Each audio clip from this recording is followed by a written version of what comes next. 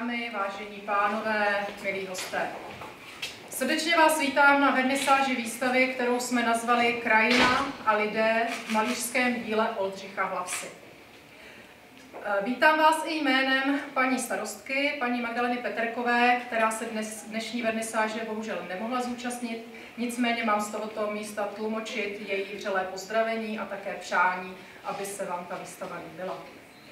Vítám zde ovšem přítomného pana místostarostu, pana Josefa Kopeckého. Pěkné odpoledne. Dobré odpoledne.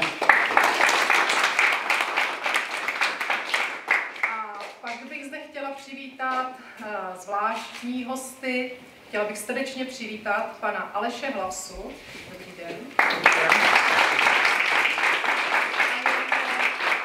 A jeho syna Jana Hlasu. Dobrý den. Dobrý den.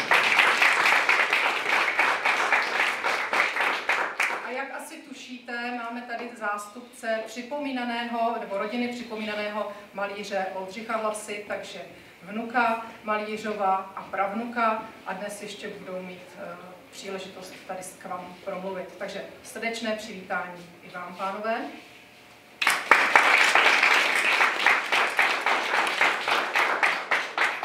Pak zde vítám další soukromé půjčitele, kteří byli ochotní se podělit o své obrazy s vámi, s naší milou veřejností.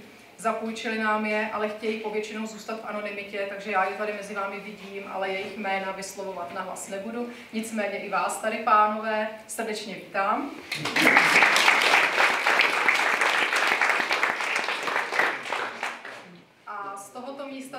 děkuji všem, kteří nám byli jakkoliv nápomocni při přípravě této výstavy a kromě těch soukromých půjčitelů je to ještě řada muzeí a galerií a dalších institucí a všem patříme poděkování. Dále bych zde chtěla přivítat také mladého pána Ondřeje Mikoleckého, který je frekventantem základní mělecké školy Česká Třebová a žákem pana Milana Špičáka ve na saxofon. A dnes už měl malý prostor a ještě prostor dostane, takže přivítání patří.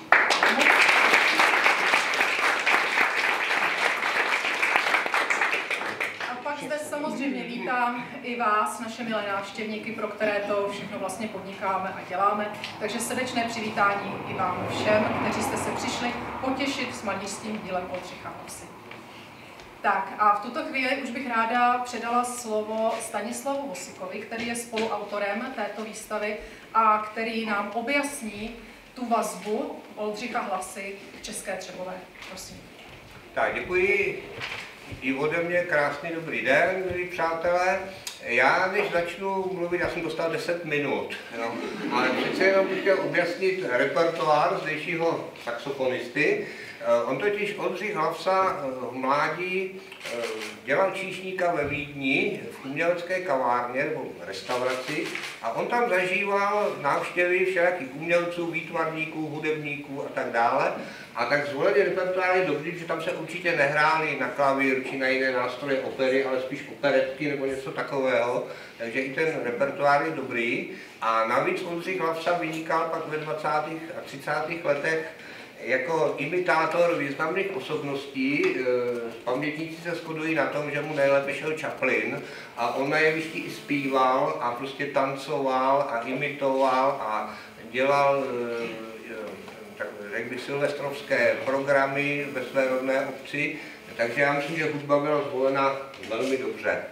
A teď bych se dostal k tomu, jak jsme přišli na to e, vlastně vystavovat Oldřika Hlavsu, který nemá v podstatě nic společného s Českou Třebovou. Nevíme o jediném obrazu, já nemyslím tady eh, pan Hlavsa opravy, který by maloval České Třebové, já jsem nikdy takový neviděl, ani, ani z okolí. A přesto má určité být nepřímé vazby na Českou Třebovou. Já ještě připomenu, já jsem ráno poslouchal rozhlas, kde se mluvilo o eh, festivalu filmovém San Sebastianu, kde bude mít premiéru český film Il Boemo, o Josefu Myslivečkovi a tak mě to připomnělo Českou Třebovou. Josef Mysliveček je také pozapomenutý, pozapomenutý český skladatel, kterého obdivoval Mozart a film bude mít premiéru San Sebastianu, kde v podstatě s tím Mysliveček nemá nic společného. E, tady otevíráme výstavu Oldřicha Hlavsy, který také nemá nic společného s českou Třebovou a obdivoval ho Vojtěch Hinajs, jeho poslední učitel na Akademii výtvarných umění, takže tady vidím jistou paralelu. A nazvala jsem ho Malíř Oldřich Hlavsa a jeho umělecké role. Role první. Rozený malíř. Oldřich Hlavsa se, myslím, malířem narodil. Vždyť si dokázal na hodně nepříznivých životních okolnostech tuto dráhu doslova vyvzdorovat s pomocí jiných, kteří mu věřili. Role druhá. Nadaný sirotek z chudých poměrů. Těžké poměry, v níž se chlapec brzy ocitl, jej vedli k praktické práci číšníka. A tady měl prý štěstí, že jej v jeho zálibě kreslit a malovat podpořili umělečtí hosté už zmíněné vídeňské restaurace. Vidím to tak, že jen jeho neutuchající a dlouhodobé puzení k výtvarné tvorbě si prostě našlo tuhle cestu. Role třetí. Student malířství. Byl jim krátce na Mnichovské akademii.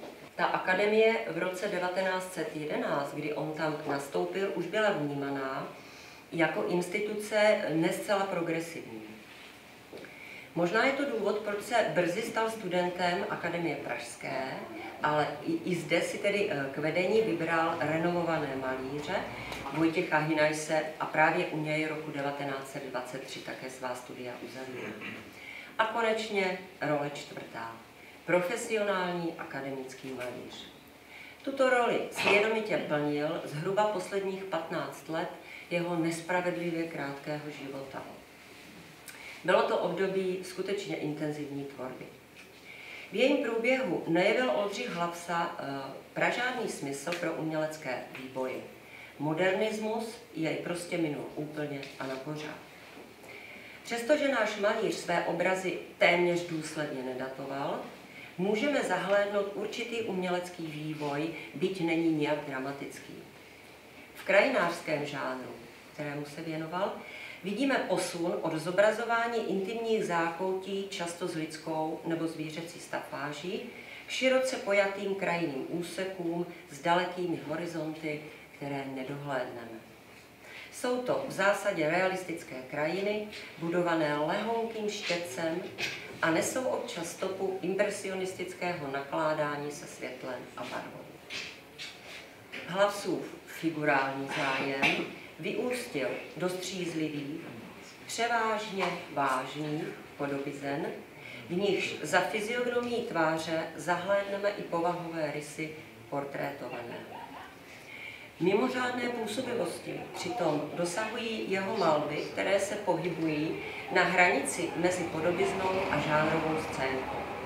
Jsou to vlastně jakési skupinové portréty v akci, které zachycují malé hloučky aktérů propojené navzájem nějakou činností. Tady se Hlavsovi výtečně daří podpořit vnější podobu osob a jejich mentalitu nedramatickým, ale jasně čitelným dějem. Dámy a pánové, malířské kvality Hlavsovy tvorby nespočívají v objevitelském novátorství, ale v rozvíjení dobré realistické umělecké tradice. Zdrojem těchto kvalit je schopnost nahlédnout krásu, atmosféru a náladu konkrétního místa, bytosti nebo nějakého dění a lehkým štětcem ji fixovat na plátno. Výsledkem jsou pak klidné, malířsky lahodné a obsahově laskavé, až někdy idylické obrazy, které pohladí oko i srdce diváka. Děkuji vám, že jste přišli. Nebojte se, bude to kratší. A ještě více kratší, protože jsem většinu z toho, co jsem si napsal, zapomněl, nebo to tady už bylo řečeno. Takže to vezmu z jiného konce. Eh, jsem rád, že jste přišli z toho důvodu, že eh, je to pro mě důkazem, že jméno mého dědečka stále žije. Eh, a to přesto, že od jeho smrti uplynulo již 86 roků. Dnes na této výstavě se můžete podívat na řadu obrazů. Už jsem měl sám možnost si projít tu výstavu a mohu vám potvrdit, že je zde spousta nových děl, která jsem já osobně také nikdy neviděl, a to ani na předchozích výstavách. Těch výstav nebylo moc, opravdu řečeno, v nové době byly jenom dvě. A za to patří dík celému kolektivu zdejšího muzea, vedeného paní ředitelkou, magistrou Voleskou a paní Kesa Gruberovou. Děkuji. Uh, jsem potěšen skutečností teda to, že už je to druhá výstava, ale jak jsem řekl, uh, neopakuje se, spousta těch obrazů je zcela nových a nebyly v poslední době vystavovány. V době totality se konaly výstavy zasloužilých umělců té doby, a ačkoliv moje babička měla snahu uspořádat nějakou výstavu svého manžela, tak doba tomu nepřála, u hlavců v té době nebyl zájem. Navzdory tomu obrazy přetrvaly. Jejich majitelé se sice generačně obměnili, ale ty obrazy zůstaly. I když vím, že nic netrvá věčně, eh, těší mne, že dosud visí ve stovkách domácností a dělají lidem radost. Asi je to proto, že děda do nich dokázal vložit tolik klidu, jasu a pohody. A také zachycená atmosféra v nich eh, se od té doby změnila a mnohem bohužel utrekla. A ještě bych řekl jednu věc, která tady nebyla řečena. Eh, můj děda eh, byl v Legích, on vlastně musel přerušit svá studia, když byl vlastně na Pražské akademii, tak vlastně vypukla válka On dostal povolávací roz, rozkaz a nastoupil na frontu. Byl zajat na Rusy a tam vstoupil do dobrovolnické legie československých legionářů. A s touto legií procestoval celou tu severní magistrálu a v podstatě se dostal až do Japonska. E, v té době potom létal jako letecký kurýr mezi Tokiem a nevím přesně kterým městem. Eh, zrovna nedávno jsem o tom našel dokument, který jsem předal historickému muzeu vojenskému. A když byl v těch legích, tak eh, také maloval. Z té doby existuje pár obrazů, bohužel nevím, kde se teďka momentálně nachází, ale dají se najít jejich fotografie. Jeden se jmenuje Za vlády Sovětů, ten mě babička říkala, ten nikdy nesmíš, kdyby se ho někde objevil, nesmíš ukazovat, protože eh, tam vlastně byla scéna, jak eh, bolševici v těch svých čapkách špičatých jedou na koních, podal takový rozbitý zdi a tam dole se váleli ty ubozí mužici bátě, špíně a hladu.